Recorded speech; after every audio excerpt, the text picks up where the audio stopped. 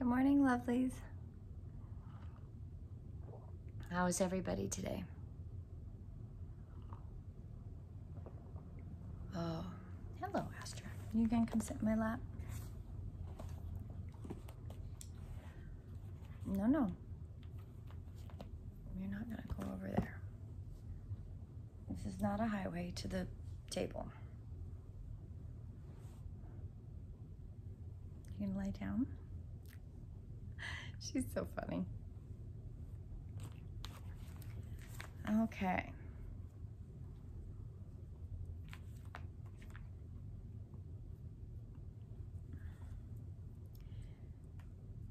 Mm, I think I want to read this one.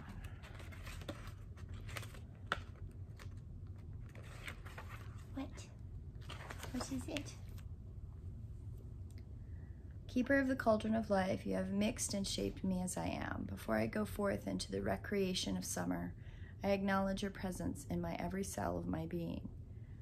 Teacher of my soul, in your life, you have asked many questions in order to straighten your path. Grant me the essential curiosity to ask such questions and give me help now to find an answer to today's issue. The sacred laws of hospitality bid us welcome the guest as a member of our own family. May all beings of goodwill who will come within the compass of my daily routine experience welcome and hospitality of my heart. I remember all who have suffered prejudice because of cultural origin or religious background. May the blinkers of bigotry be lifted and the vision of compassionate heart prevail. May the blessed space of this day open my eyes fresh to all the world has yet to unfold. May the embrace of festival and a rejoicing warmth, whatever is cold, encourage what is weak, enliven whatever is slow to come to life within me. Okay, today's card is Daughters of the Red Tent. You are at the threshold of a new life. You have outgrown the world you once knew, and even the person you once believed yourself to be. This is a sign of good life to come, yet at the threshold there can be danger, for that which is new is vulnerable until it gains full strength. You are held in sacred protection throughout this time of transition. Soon you will, shall emerge in full maturity and strength, integrated and ready to bring yourself to the world in a new form. It has been decreed thus by nature herself, and so it shall be.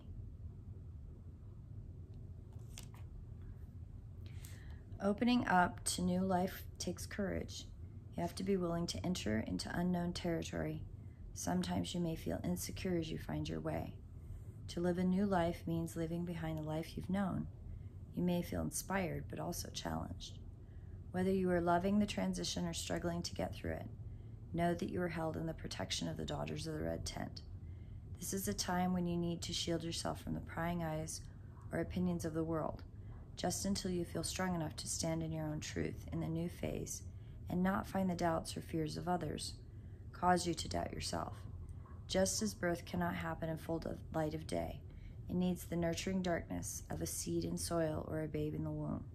So too does your emergence out of transformation need its new covering, its red tent.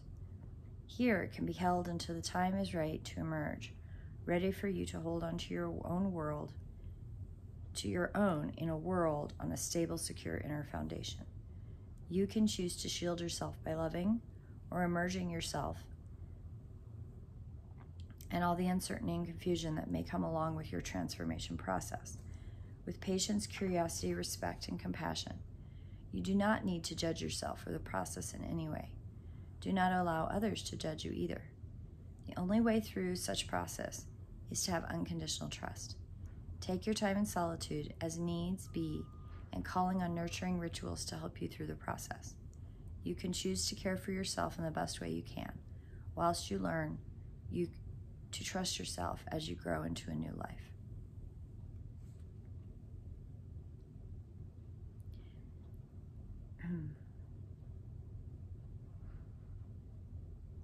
I like that.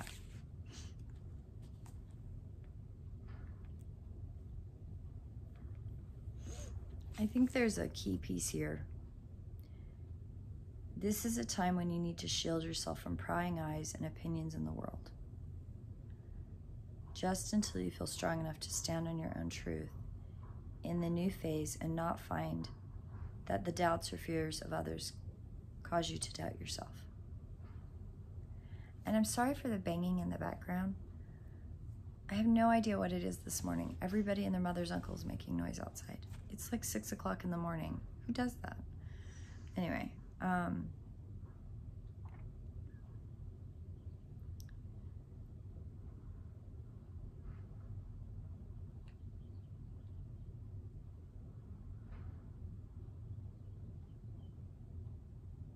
a threshold of a new life.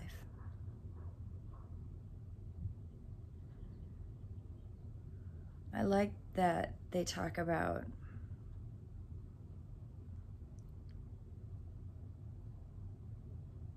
new things take courage and trusting in in divine timing and trusting in the support of the divine around you.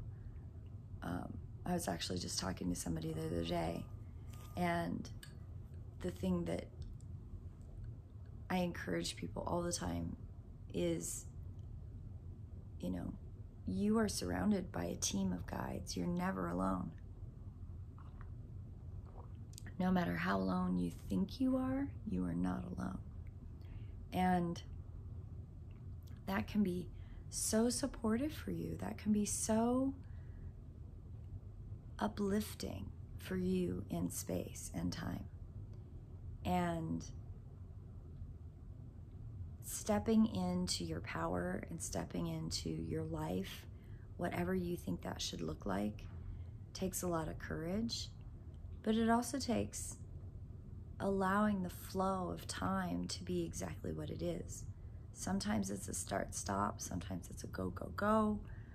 Um, and it picks up and it's busy and it's beautiful. So, I don't have a lot this morning. My voice is kind of doing this funny come and go thing. I think we're entering a another phase of laryngitis. It happens. Um, I lose my voice at least once a year. I've lost it once already this year, so this would be the second time. Some years it comes and goes more than others, but I'm used to it. I'm not worried about it. Um, I hope you all have a beautiful day, and I will see you in prayer. Blessed be.